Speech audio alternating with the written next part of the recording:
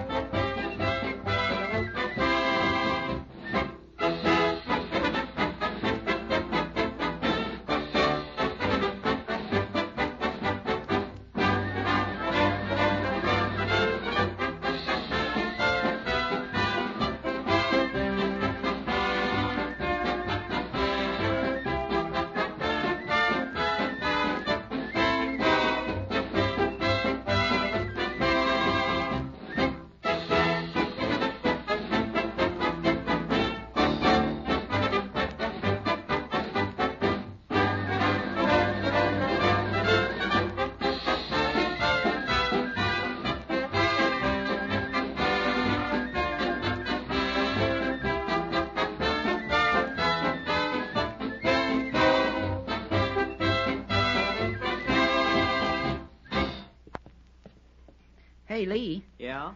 why do you suppose Captain Gardner wanted us to wear our civilian clothes instead of our uniforms when we go to his office? I don't know. I can't figure it out either. Don't you suppose the other cadets will think it's kind of funny, us and civvies? Oh, they won't see us, Jerry. They're all in study hall. Oh, yeah, that's right. Well, I'm ready. Uh, wait till I tie this shoe.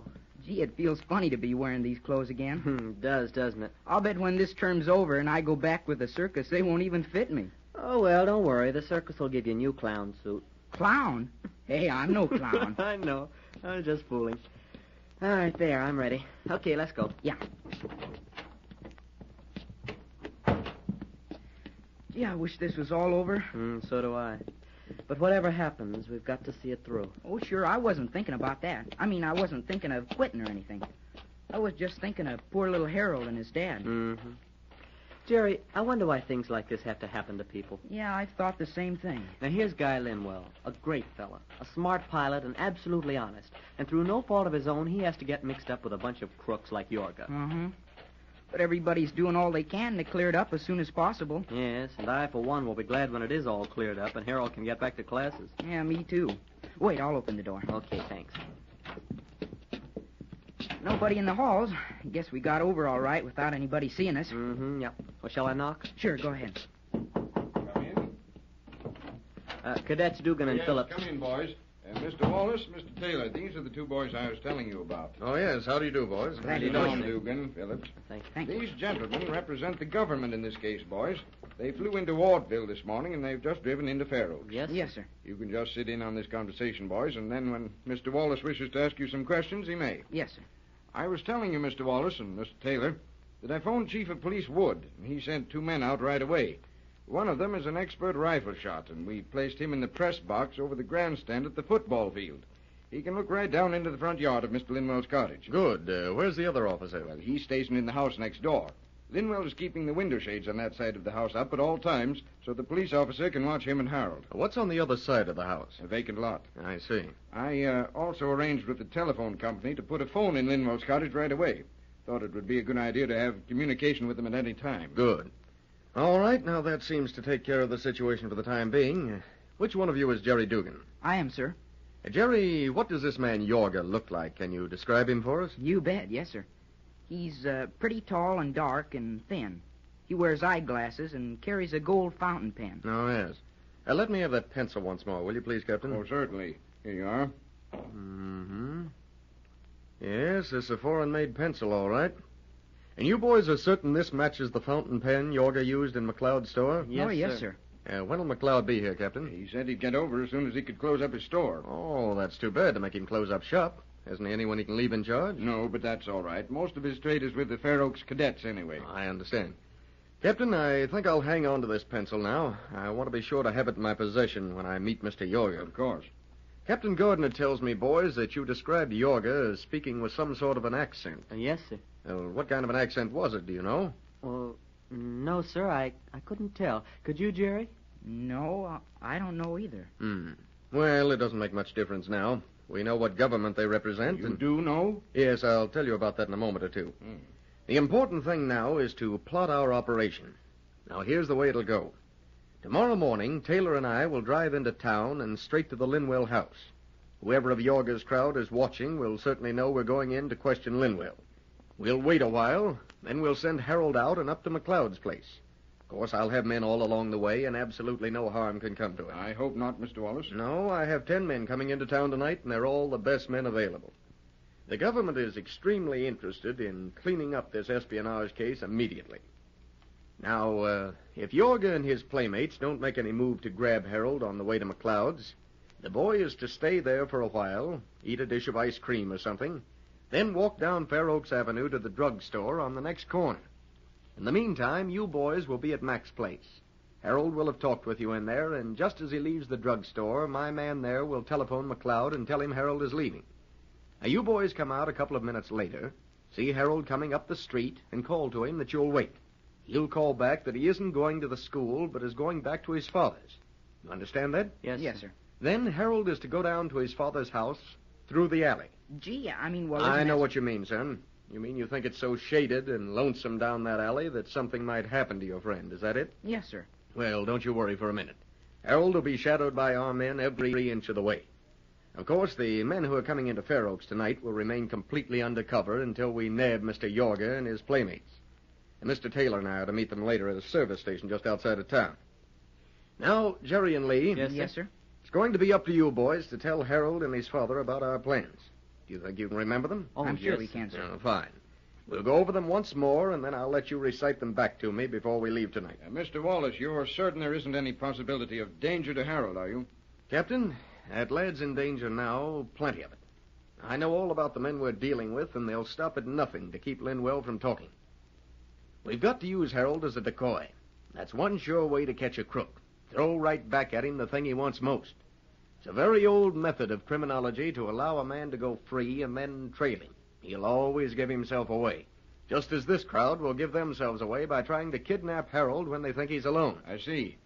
I'm really worried about it, though. Well, please don't be. Because the case against them is really broken anyway. All we want is a chance to catch them on one more count, a serious one, and it'll be all over. What do you mean, sir? The case is really broken. Yes, I was going to tell you about that. We found out what caused the crash during Linwell's test flight. Oh, you Gee, have? Lee, did you hear that? You bet I did. Well, what was it? Well, these same men, Yorga and his crowd, weren't able to break Guy Linwell down into accepting a $10,000 bribe to make a forced landing.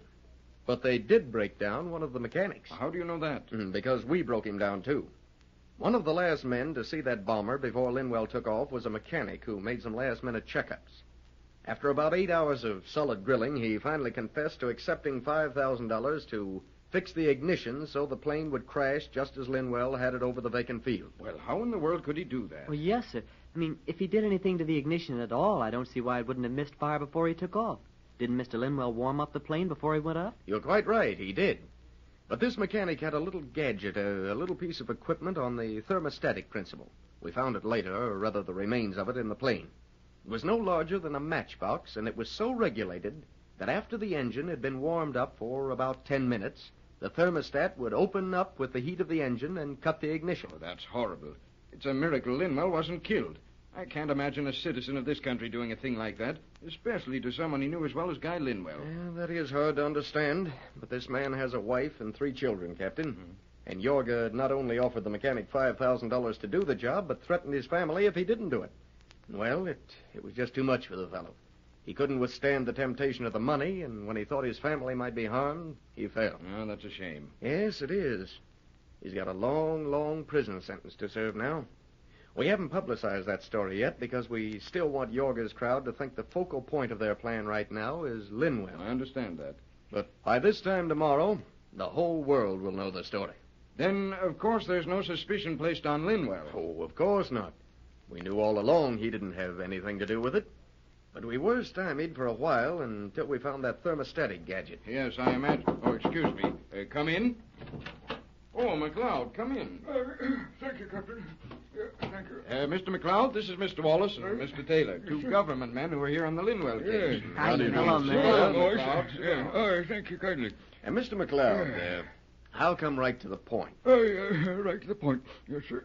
Uh, tell me, did you have an opportunity to see the paper or papers that Yorga put in that envelope in your store? Uh, Yorga? Oh, oh, that's the man's name? Yes, yes, uh, Alexander Yorga. Oh, I see. Uh, Well, were you able to see the papers, Mr. McLeod? oh, the, oh, the papers. oh, yes. Uh, well, uh, no, I'll tell you. You mind, uh, it was a bit dark in my place right at the moment. Uh, it was uh, after four o'clock, you ken, and I didn't hear the lights uh, turned on yet. So I really didn't get a very good look at the paper or or, or uh, papers. Well, uh, was there writing on them? Uh, writing.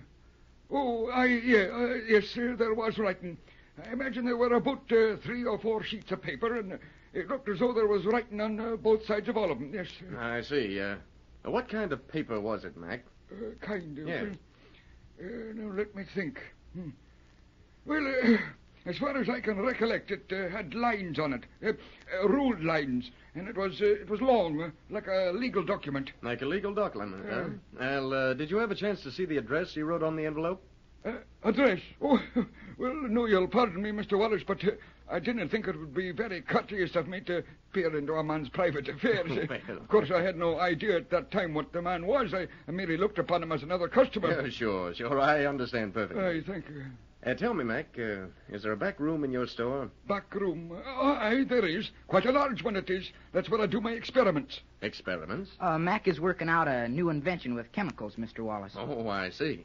Oh, Mac, uh, would it be all right if I stationed one of my men there tomorrow morning? One of your men. Uh, Well, uh, of course, but there's really not a thing there that would interest Mr. Uh, what's his name? Uh, Yorga. Aye. No, no, I know that, Mac. But we have a plan, which I'll explain to you later, in which we expect to lure Mr. Yorga and his playmates into trying to kidnap Harold Linwell. One of the places Harold is going to stop is your store. Oh, I see. I I understand perfectly. Of course, you can take over my entire establishment if you like. Well, that won't be necessary, but thanks for your cooperation. Yeah, cooperation. that's perfectly all right. For Harold or any of the boys at Fair Oaks, I'd do anything. Uh, if it would save Harold and his father, I'd I'd burn the place down. Well, that's the spirit. Thank you very much. Well, now, boys, uh, let's start in on our little rehearsal. See if you can tell me what the plan is for tomorrow. You first, Jerry. Yes, sir. Well, first, uh, what time is this to start, Mr. Wallace? I'm not quite sure yet until after I talk with my men who are coming in tonight. But I'll get word to Captain Gardner, and he can tell you. Oh, yeah, okay, thanks. Well, first, uh, we'll go over to Mac's. Oh, excuse me. Hello? Yes, Mr. Linwell. Oh, it's Harold's dad. What? When? We'll be right over. Yes, wait right there. What's wrong? Mr. Wallace, Mr. Linwell just told me that Harold has disappeared.